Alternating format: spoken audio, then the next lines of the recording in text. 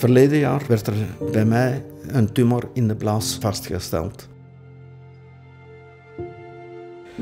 Toen de dokter mij het slecht nieuws bracht, stortte mijn wereld volledig in.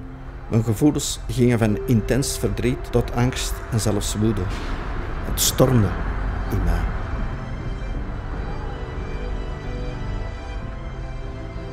Ook in het ziekenhuis miste ik wat communicatie.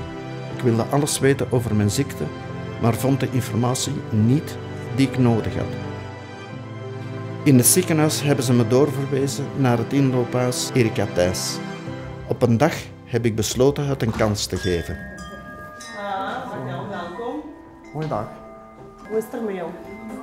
Ik herinner me die eerste keer dat ik hier binnenkwam nog goed.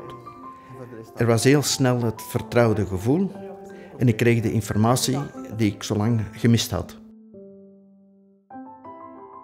Huis Erika Thijs is een open huis voor mensen met kanker en hun naasten. Wij maken echt tijd voor de mensen om informatie te geven.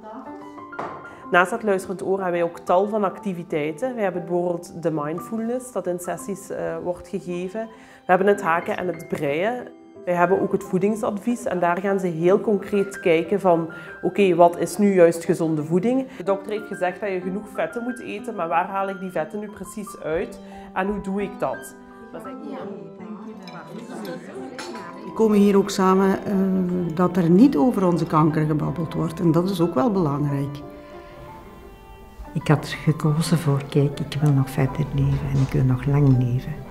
En ik heb gedaan wat ik moest doen om daaraan kunnen te werken. Het huis heeft me alle kansen geboden om daaraan te werken. Ik ben hier binnengekomen met open armen ontvangen. En in dit huis kan eigenlijk alles. Heb je zin om te babbelen of wil je gewoon even stil zijn?